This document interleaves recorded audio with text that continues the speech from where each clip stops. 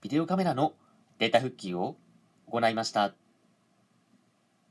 愛知県名古屋市のお客様からのご依頼です。対象のビデオカメラはソニー HDR XR500 撮影していたデータが急に消えてしまった。一部だけデータが残っており、過去に撮影したデータが全て消えているという状況です。